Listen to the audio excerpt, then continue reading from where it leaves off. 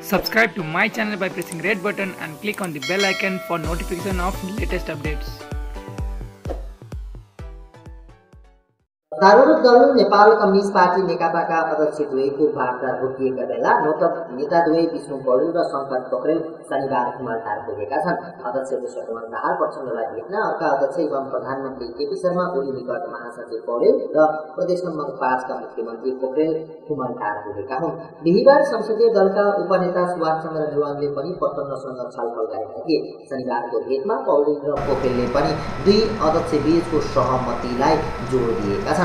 जवाबमा प्रचण्डले आफूहरू सहमतिकै पक्षमा रहेको तर अहिलेको गतिरोध अन्त्यका लागि अर्का अध्यक्ष ओलीले निकास दिनुपर्ने बताएको सुरोटको दावी छ।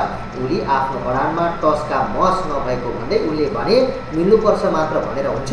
केपी ओलीसँग सहमति गरेर निकासको प्रस्ताव लिएर आउनुहोस्। ओली र प्रचण्ड भाजपा नेपाल पक्षको विवादका कारण नेकपाको स्थायी कमिटी बैठक समेत बस्न सकेको छैन। दस असारबाट सुरु भएको स्थायी कमिटी बैठकमा प्रचण्ड नेपाल पक्षले अध्यक्ष र प्रधानमन्त्री मध्ये एक पद छाड्न दबाब दिएको थियो। पटक पटक भएको वार्तामा सहमति जुट्न नसकेपछि ओलीले तेह्र साउनको बैठक एक पक्षीय रूपमा स्थगित गरेका थिए। तर प्रचण्डले बहुमत स्थायी कमिटी सदस्य राखेर ओलीको निर्णयमा आपत्ति जनाएका थिए। यद्यपि त्यो बैठकले अर्को अध्यक्ष ओलीसँग परामर्श गरेर स्थायी कमिटी सुचारू गर्ने जिम्मा प्रचण्डलाई दिएको छ त्यसअनुसार दुई अध्यक्षबीच भेटवार्ता भएपछि सहमति जुट्न सकेन र केही दिन यता दुई अध्यक्षबीच वार्ता पनि भएको छैन।